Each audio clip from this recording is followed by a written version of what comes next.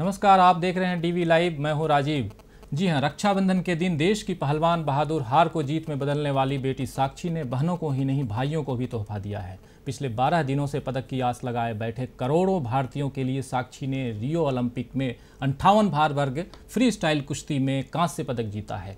Kyrgyzstan की पहलवान एसुलू तिनिवेकोवा से जब उनका मुकाबला प्रारंभ हुआ तो उम्मीदें टूट रही थीं कि वे शायद ही जीत पाएँ। लेकिन बकौल साक्षी, उन्होंने अपने भीतर कोई नकारात्मक विचार नहीं आने दिया और यह ठान लिया कि उन्हें किसी भी हाल में पदक हासिल करके ही यहाँ से जाना है। मुकाबले के आखिरी क्षणों में जब सबको चौंकाते हुए उन्होंने गजब का पलटवार किया और कांस्य पदक अपने नाम किया। साक्षी मलिक की अब तक की उपलब्धियों और उनके संघर्षों से अधिकतर लोग अनजान ही थे। साक्षी के माता पिता भाई सबको अपनी पहलवान बेटी पर गर्व है और देश को भी।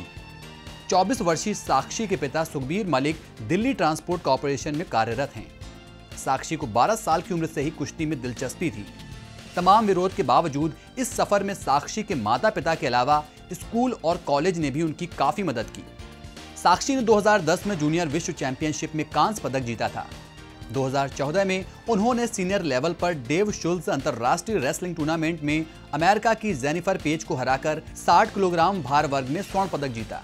और इसी साल ग्लासगो कॉमनवेल्थ खेलों में अट्ठावन किलोग्राम वर्ग में साक्षी ने रजत पदक अपने नाम किया। साल 2015 में दोहा में हुई सीनियर एशियन रेसलिंग चैंपियनशिप में 60 किलोग्राम वर्ग में कांस्य पदक भी हासिल किया। साक्षी के पदकों का सिलसिला यही नहीं थमा। जुलाई 2016 में उन्होंने स्पेनिश ग्रैंड प्रिक्स में कांस्य पदक जीतकर रियो ओलंपिक के लिए अपनी तैयारी का नमूना पेश कर दिया था।